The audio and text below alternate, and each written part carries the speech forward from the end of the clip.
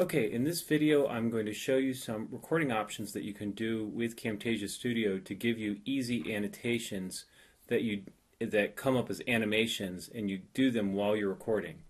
So the you want to make sure your recording bar doesn't get minimized. Now if you don't want it then you'll have to edit it out in, in the post-production.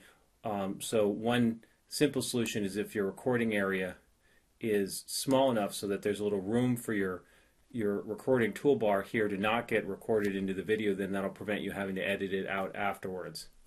So in this case, the slide I want to annotate, I could chop that off and my recording toolbar will stay um, out of the picture.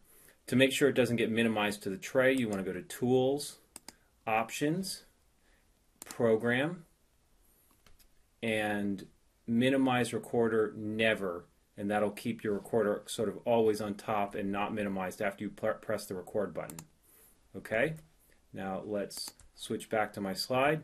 I'm going to click on record and then it gives me the countdown.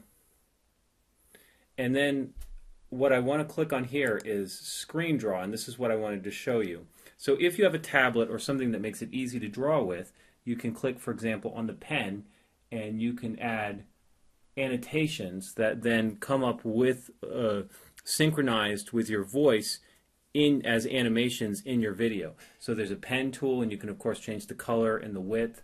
There's a shape tool, and you can add shapes, and there's a highlighter tool.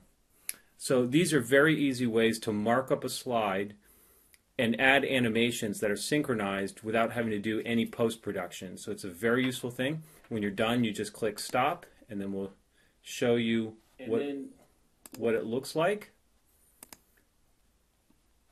And so now you can see as I move it along here, let me just see. There you go. So you, you can see in the picture there the annotations appearing. And if I were to play, for example, the sound, annotations that then come up with, uh, you see that they're synchronized. So that's a very useful feature, especially if you're creating uh, videos with ad-libbed mathematics is what I have often had the chance to do it for.